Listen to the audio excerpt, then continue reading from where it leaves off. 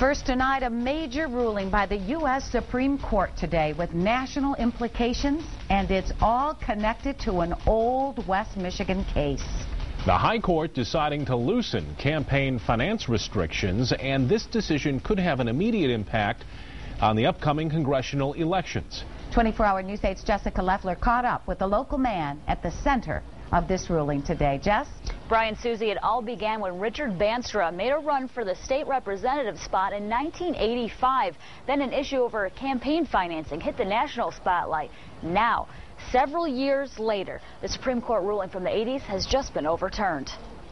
The U.S. Supreme Court loosening restrictions on campaign finances and meantime overturning a landmark ruling in 1985 with connections right here in West Michigan. 25 years ago, the, the State Chamber of Commerce wanted to place an ad uh, saying vote for Bandstra and there was a state statute that didn't allow them to do that. 24 Hour News 8 was able to track down Richard Bandstra in the center of the controversy storm over the statute involving campaigning finances for his run for state representative.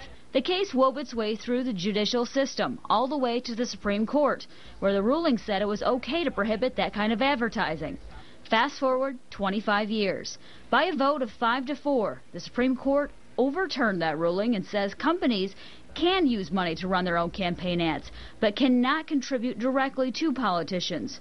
A ruling that Bandstra would have preferred in 1985 and still agrees with today. I read the opinions today. I I agree with the majority that uh, if we are going to legally treat corporations like persons, then they should have uh, free speech rights like the rest of us do. Supporters of the decision call it a victory for free speech, but some are concerned it could give corporations the upper hand. No matter what your views are on campaign financing reform, it was designed to limit corruption and the corrupting influence money has on politics those laws being stripped away, I think, frankly, in the long run, we can expect more corruption in politics.